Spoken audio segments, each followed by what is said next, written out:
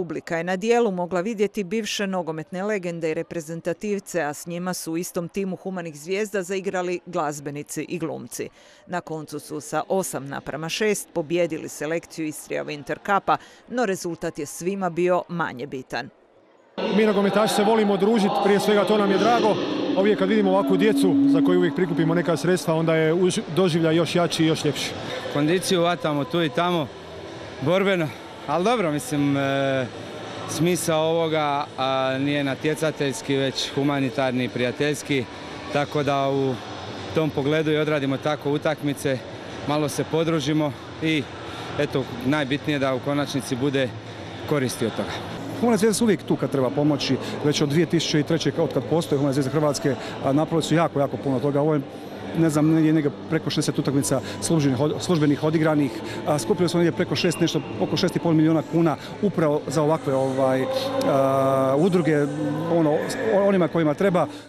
Ovoga je puta na utakmici od ulaznica prikupljeno 17.000 kuna. Novci su namijenjeni za kupovinu kombi vozila Centra za inkluziju i podršku zajednici iz Buja, u kojem je devet stalnih i dvoje povremenih članova.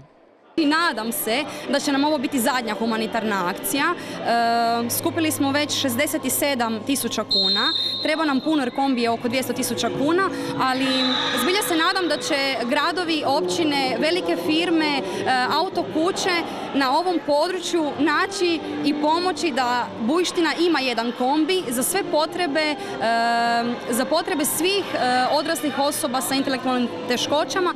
Ovo je drugi puta da se na Istrija Winter Cupu igrala humanitarna utakmica. Ovaj se zimski nogometni turnir u regiji održava peti put, a sudjeluje osam klubova.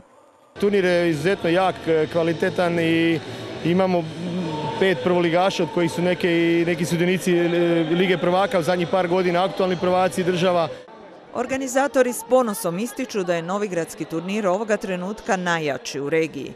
Završava u nedjelju kada se na gradskom stadionu u Umagu od 11.30 igra utakmica za treće i četvrto mjesto, a finala je u 14 sati na stadionu u Novigradu.